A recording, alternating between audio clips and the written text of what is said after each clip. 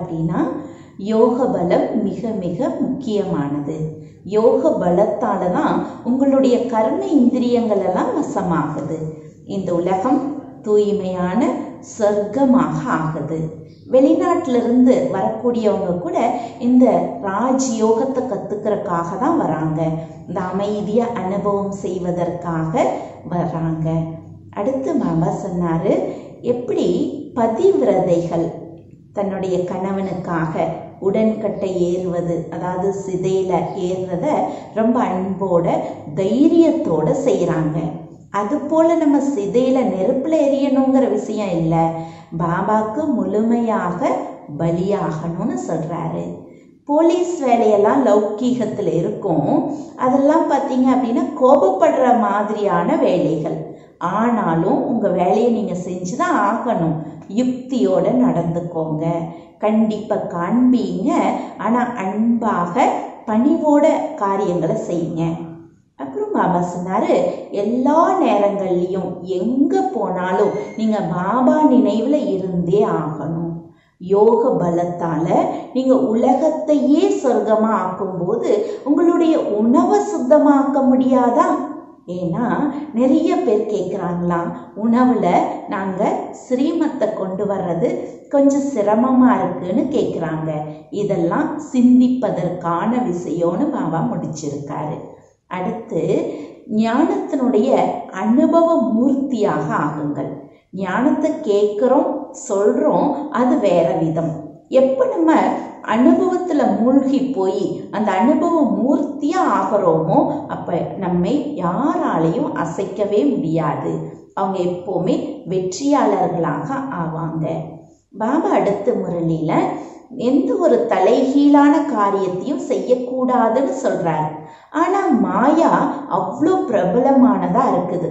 அது தலைகீழான காரியங்களை செய்ய வச்சிருது. எனவே மறந்தும். தந்தைய மறந்து போயிடாதீங்கன்னு மிக முக்கியமா பாபா நமக்கு ஞாபகப்படுத்தியிருக்கார். ஐயாயிரம் ஆண்டுகளுக்கு பிறகு மீண்டும் இதே பெயர் ரூபத்தில் வந்து உட்காந்து நீங்க ஞானம் கேட்பீங்க. வயதானவர்கள் கூட ரொம்ப மகிழ்ச்சியோட சொல்றாங்க பாபா நாங்கள் உங்ககிட்ட சொர்க்கத்தினுடைய ஆஸ்தி அடைய வந்திருக்கிறோன்னு. ஆனா உலகத்தில் இருக்கக்கூடிய யாருக்குமே தந்தை வந்ததும் தெரியல சொர்க்கத்தை ஸ்தாபனை செய்யறதும் தெரியல. இந்த மாதிரி இன்னைக்கு முரளியில மாமா சொன்ன விஷயத்த நம்ம இன்னும் விளக்கமா பார்க்கலாம். முரளி டேட் ஒன்பது ஒன்பது இரண்டாயிரத்தி இருபது. காலை முரளி பாக்தாதா மதுபன். இனிமையான குழந்தைகளே ஒவ்வொரு விஷயத்தையும் யோக பலத்தோடு செய்யுங்கள். தந்தையிடம் எதையும் கேட்க வேண்டிய விஷயமே இல்லை. நீங்கள் இறைவனின் குழந்தையாக இருக்கின்றீர்கள். எனவே எந்த ஒரு அசுர காரியத்தையும் செய்யாதீர்கள். இன்றைய முரளியினுடைய கேள்வி உங்கள் யோக பலம் எந்த அற்புதத்தை செய்கின்றது? அதற்கான பதில் இந்த யோக பலத்தால் உங்கள் அனைத்து கர்ம இந்திரியங்களும் வசமாகின்றன. யோக பலம் இல்லாமல் நீங்கள் தூய்மையாக முடியாது. யோக பலத்தால் மட்டுமே முழு உலகமும் தூய்மையாக மாறுகிறது.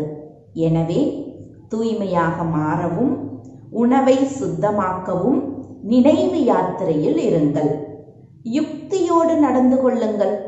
பணிவோடு பழகுங்கள். ஓம் சாந்தி. ஆன்மீக தந்தை ஆன்மீக குழந்தைகளுக்கு புரிய வைக்கின்றார். ஆன்மீக தந்தை வந்து சொர்க்கத்தை அல்லது புது உலகத்தை எப்படி படைக்கின்றார் என்பது உலகில் உள்ள யாருக்கும் தெரியாது. அதை ஒருவரும் அறியவில்லை. நீங்கள் தந்தையிடம் எந்த வேண்டுகோளையும் வைக்க முடியாது. தந்தை அனைவ அனைத்தையும் புரிய வைக்கின்றார். எதையும் கேட்பதற்கு அவசியம் இருப்பது இல்லை. அனைத்தையும் தாமாகவே புரிய வைத்துக் கொண்டிருக்கின்றார். நான் ஒவ்வொரு கல்பமும் இந்த பாரத கண்டத்திற்கு வந்து என்ன செய்ய வேண்டும் என அறிந்திருக்கின்றேன் என தந்தை சொல்லுகின்றார். அது உங்களுக்கு தெரியாது. ஒவ்வொரு நாளும் புரிய வைத்துக் கொண்டே இருக்கின்றார். ஒருவர் ஒரு வார்த்தை கூட கேட்காத போதும் அனைத்தையும் புரிய வைத்துக் கொண்டே இருக்கின்றார். உணவு முறையில் சிரமம் இருக்கிறதென சில நேரம் கேட்கின்றீர்கள். இப்போது இது புரிந்து கொள்ளும் விஷயமாக இருக்கின்றது. என்ன புரிஞ்சுக்கிறதுக்கான விஷயம்? உணவு முறையில் ஸ்ரீமத்தை முழுசாக கடைபிடிக்கணும் அதில் சிரமம் இருக்குன்னு குழந்தைகள் சொல்கிறாங்க அதுக்கு பாபா பதில் சொல்கிறாரு ஒவ்வொரு விஷயத்திலும் யோக பலத்தால் காரியங்களை செய்யுங்கள். என தந்தை சொல்லியிருக்கின்றார். நினைவு யாத்திரையால் வேலை செய்யுங்கள். மேலும் எங்கே சென்றாலும் தந்தையை நினைவு செய்வது மிக முக்கியமான விஷயம். மற்றபடி எந்த அசுர காரியத்தையும் செய்யக்கூடாது. நாம் இறைவனின் குழந்தைகள் அவர் அனைவருக்கும் தந்தையாக இருக்கின்றார் அனைவருக்கும் ஒரே கல்வியை கற்பிக்கின்றார். குழந்தைகளே நீங்கள் சொர்க்கத்தின் அதிபதியாக வேண்டும் என தந்தை அறிவுரை தருகின்றார். ராஜ்யத்தில் பல பதவிகள் இருக்கின்றன. ஒவ்வொருவருக்கும் முயற்சிக்கு ஏற்ப பதவி கிடைக்கின்றது. குழந்தைகள் முயற்சி செய்ய வேண்டும். மேலும் பலனையும் குழந்தைகள் பெற வேண்டும். முயற்சி செய்ய வைக்கவே தந்தை வருகின்றார். தந்தை எப்போது வருவார்? வந்து என்ன செய்வார்? எங்கே அழைத்து செல்லுவார் என்ற எதுவும் உங்களுக்கு தெரியாமல் இருந்தது. நாடக திட்டப்படி நீங்கள் எங்கிருந்து விழுந்தீர்கள் என தந்தை வந்து புரிய வைக்கின்றார்.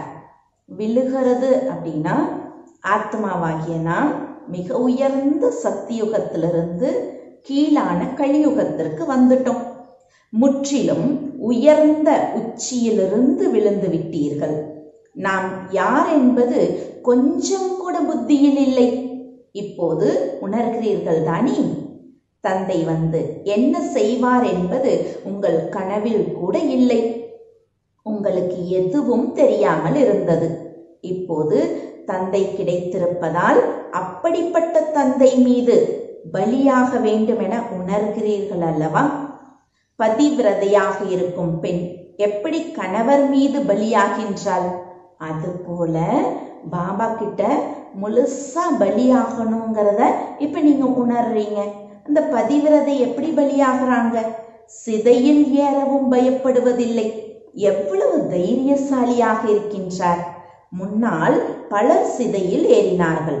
இங்கே அப்படி எந்த சிரமத்தையும் தந்தை கொடுப்பது இல்லை. முன்னொரு காலத்துல கணவன் இறந்தால் மனைவி உடன்கட்டை ரொம்ப சந்தோஷமா தைரியமா அந்த நெருப்புல விழுந்துருவாங்க. இங்கு அப்படி சிதை ஏறுவதற்கான விஷயம் எதுவும் இல்லை. பெயர் ஞான சிதை என இருக்கிறது. எனினும் எரிவதற்கான எந்த விஷயமும் கிடையாது. வெண்ணையிலிருந்து முடி எடுப்பது போல் அவ்வளவு எளிதாக தந்தை புரிய வைக்கின்றார். உண்மையில் ஜென்ம ஜென்மங்களின் சுமைகள் தலை மீது இருக்கின்றன என்பதை குழந்தைகள் புரிந்திருக்கின்றீர்கள். அஜாமில் என ஒருவர் மட்டும் கிடையாது. ஒவ்வொரு மனிதரும் ஒருவர் பிறரை விட அஜாமில் போன்ற பாவிகளாக இருக்கின்றார்கள்.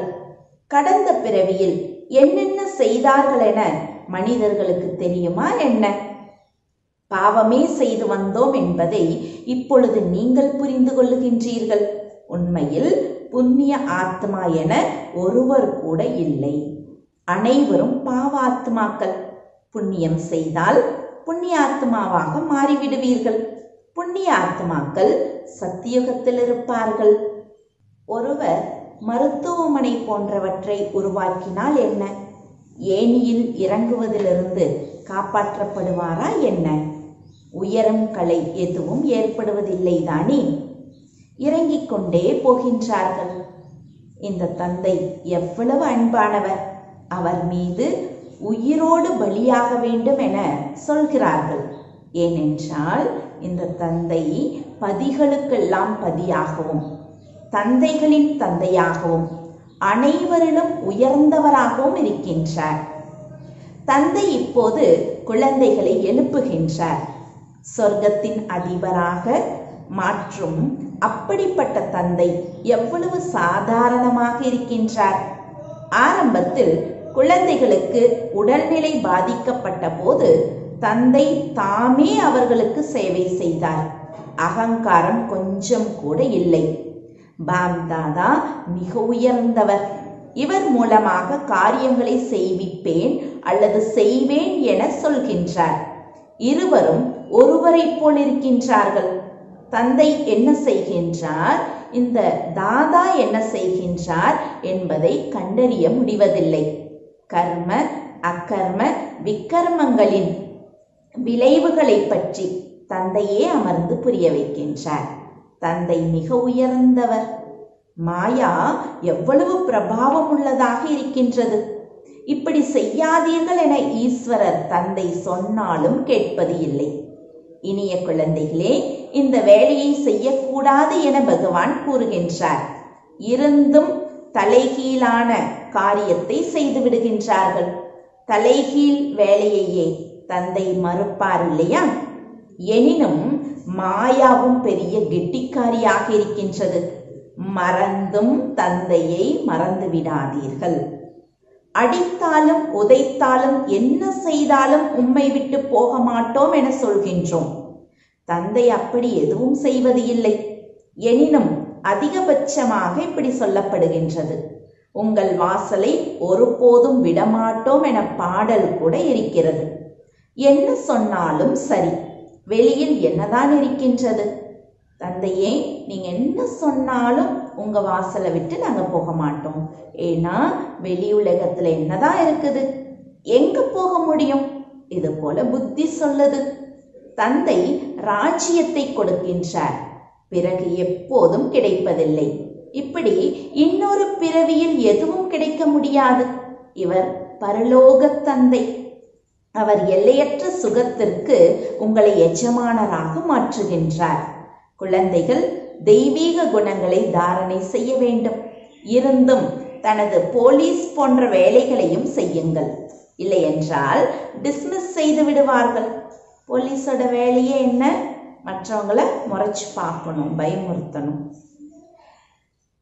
உங்கள் வேலையை செய்தே ஆக வேண்டும் முறைக்க வேண்டியதாக இருக்கிறது. முடிந்தவரை அன்பாக வேலை வாங்குங்கள். இல்லை என்றால் யுக்தியோடு முறைத்து பாருங்கள். கை நீட்டாதீர்கள். தந்தைக்கு எத்தனை அதிகமான குழந்தைகள் இருக்கின்றார்கள்? தந்தைக்கு குழந்தைகளை பற்றிய கவலை இருக்கின்றது. முக்கிய விஷயம் பவித்திரமாக இருக்க வேண்டும்.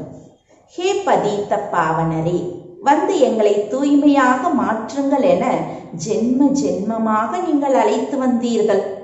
எனினும் எந்த அர்த்தத்தையும் புரிந்து கொள்ளாமல் அழைத்திருந்தீர்கள். என்றால் நிச்சயம் பதீத்தமாக இருக்கிறீர்கள். இல்லை என்றால் கூப்பிட வேண்டிய அவசியமே இல்லை. பூஜை செய்யவும் அவசியமில்லை. அபலைகள் உங்கள் மீது எவ்வளவு கொடுமைகள் நடக்கின்றது என தந்தை புரிய வைக்கின்றார். சகித்து கொள்ளத்தான் வேண்டும். யுக்திகளையும் சொல்லிக்கொண்டே இருக்கின்றார். மிகவும் பணிவோடு நடந்து கொள்ளுங்கள். நீங்கள் பாவனமாக இருக்கின்றீர்கள். பிறகு இதை ஏன் கேட்கின்றீர்கள் என சொல்லுங்கள். மூன்று முடிச்சு போடும்போது நான் உனது கணவன் ஈஸ்வர் குரு போன்ற எல்லாமாக இருக்கின்றேன் என சொன்னீர்கள். நீங்கள் பகவான் என்று சொல்லும்போது ஏன் இந்த தூய்மையற்றதை கேட்கின்றீர்கள்? இப்போது பவித்திரமாக நான் விரும்புகின்றேன். அதை ஏன் தடுக்கின்றீர்கள்? பகவானை பதீத்த பாவனர் என்று சொல்லுகிறார்கள் தானே. நீங்களே தூய்மையாக மாற்றுவராக மாற்றுபவராக மாறிவிடுங்கள். இப்படி அன்போடு பணிவோடு பேச வேண்டும். கோபம் கொண்டால் மலர்களின் மழை பொழியுங்கள். தூய்மை இழக்க செய்கிற நேரங்களில் நீங்கள் அது போல உங்களோட பதிக்கிட்ட பேசலாம். ஒருவேளை உங்களுக்கு கோபம் வரும்போது நீங்கள் அன்பாக மலர்களுடைய மழையை பொழியுங்க. அடிக்கிறார்கள். பிறகு வருத்தப்படவும் செய்கிறார்கள். மது அருந்தினால் போதை தலைக்கு ஏறிவிடுகிறது. தன்னை மகாராஜா என நினைக்கிறார்கள். எனவே இந்த விஷயமும் அப்படிப்பட்டதுதான். அதை பற்றி கேட்காதீர்கள். வருத்தப்படவும் செய்கிறார்கள். எனினும் பழக்கமாகிவிட்டதால் அது போவது இல்லை. ஓரிரு முறை விக்காரத்திற்கு சென்றால் போதும். போதை ஏறிவிடுகிறது. பிறகு விழுந்து கொண்டே இருக்கின்றார்கள். அப்படி போதை போதைப் பொருள் மகிழ்ச்சி தருகிறதோ அதுபோல் விக்காரமும் அப்படியே. இங்கே பிறகு பெரிய முயற்சி தேவைப்படுகின்றது. யோக பலம் இல்லாமல் எந்த ஒரு கர்ம இந்திரியத்தையும் வசப்படுத்த முடியாது. யோக பலமே அற்புதத்தை செய்கின்றது. அதனால் தானே பெயர் பிரபலமாக இருக்கின்றது. யோகத்தை கற்க வெளிநாடுகளிலிருந்து இங்கே வருகின்றார்கள். அமைதியாக அமர்ந்திருக்கின்றார்கள். வீடு வாசலை விட்டு தூர சென்று விடுகின்றார்கள். அது அரை கல்பத்திற்கான செயற்கையான சாந்தி. யாருக்கும் உண்மையான அமைதியை பற்றி தெரியாது. குழந்தைகளே உங்கள் சுய தர்மமே சாந்தி. இந்த சரீரத்தை கொண்டு நீங்கள் காரியங்களை செய்கின்றீர்கள் என தந்தை சொல்கின்றார். எதுவரை ஆத்மா உடலை பெறவில்லையோ அதுவரை ஆத்மா அமைதியாக இருக்கின்றது. பிறகு எங்கேயாவது சென்று உடலில் நுழைகின்றது.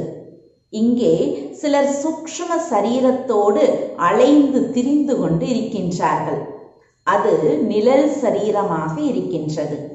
சில துக்கம் கொடுப்பதாக இருக்கின்றன சில நல்லதாக இருக்கின்றன. இங்கும் ஒருவர் மனிதராக இருக்கும்போது யாருக்கும் துக்கம் கொடுப்பது இல்லை. ஒருவர் அதிக துக்கம் கொடுக்கின்றார். மேலும் ஒருவர் சாது மகாத்மாவை போல இருக்கின்றார். அதுபோல சூக்ஷ்ம சரீரத்தில் இருக்கிற ஆத்மாக்கள் கூட சிலது துக்கம் கொடுக்கக்கூடியதா இருக்கு சிலது துக்கம் கொடுக்காததாக இருக்கு. மிக இனிமையான கண்டெடுக்கப்பட்ட குழந்தைகளே நீங்கள் ஐயாயிரம் வருடங்களுக்கு பிறகு வந்து சந்திக்கின்றீர்கள் என தந்தை புரிய வைக்கின்றார். எதை பெற வந்திருக்கின்றீர்கள்? உங்களுக்கு என்ன கிடைக்கும் என தந்தை சொல்லியிருக்கின்றார். பாபா உங்களிடமிருந்து என்ன கிடைக்கும் என்ற கேள்விக்கே இடமில்லை. எது எது கிடைக்கும்னு கேள்விக்கே இடமில்லை. பாபா கிடைச்சதுனால உலகையே அடைந்து விட்டோம். நீங்கள் ஹெவன்லி காட்ஃபாதராக இருக்கின்றீர்கள். புதிய உலகை படைக்கின்றீர்கள். எனவே உங்களிடமிருந்து அரச பதவி கிடைக்கின்றது. கொஞ்சமாவது புரிந்து கொண்டு சென்றால் நிச்சயம் சொர்க்கத்திற்கு வருவார்கள் என தந்தை புரிய வைக்கின்றார். நான் சொர்க்கத்தை ஸ்தாபனை செய்ய வந்திருக்கின்றேன். பகவான் மற்றும் பிரஜாபிதா பிரம்மா மிக பெரிய ஆசாமிகளாக இருக்கின்றார்கள். விஷ்ணு யார் என உங்களுக்கு தெரியாது. வேறு யாருக்கும் தெரியாது. நாங்கள் இவர்கள் குலத்தை ச- சேர்ந்தவர்கள் என நீங்கள் சொல்கின்றீர்கள். இந்த லக்ஷ்மி நாராயணன் சத்தியுகத்தில் ராஜ்யம் செய்தார்கள். இந்த சக்கரம் போன்றவை உண்மையில் விஷ்ணுவிடம் இல்லை. இந்த அலங்காரம் பிராமணர்கள் நம்முடையது. இப்போது இந்த ஞானம் இருக்கிறது. சத்தியுகத்தில் இது புரிய வைக்கப்பட மாட்டாது. அப்படிப்பட்ட விஷயங்களை சொல்ல யாரிடமும் சக்தி இல்லை. நீங்கள் இந்த எண்பத்தி நான்கு பிறவிகளின் சக்கரத்தை அறிந்திருக்கின்றீர்கள். இதன் அர்த்தத்தை யாரும் புரிந்து கொள்ள முடியாது. குழந்தைகளுக்கு தந்தை புரிய வைக்கின்றார். நமக்கு இந்த அலங்காரம் பொருத்தமாக இல்லை என்பதை குழந்தைகள் புரிந்திருக்கின்றீர்கள். இப்போது நாம் கற்றுக்கொண்டிருக்கின்றோம் முயற்சி செய்து கொண்டிருக்கின்றோம். பிறகு இப்படி ஆகிவிடுவோம். சுயதர்சன சக்கரத்தை சுற்றி சுற்றி நாம் தேவதைகளாக மாறிவிடுவோம். சுயதர்சன சக்கரம் என்றால் படைப்பவர் மற்றும் படைப்பின் முதல் இடை கடைசியை பற்றி அறிந்து கொள்ளுவது. இந்த சிருஷ்டி சக்கரம் எப்படி சுற்றுகிறது என்பதை முழு உலகத்தில் யாருக்கும் புரிய வைக்க முடியாது. தந்தை எவ்வளவு எளிமையாக புரிய வைக்கின்றார்?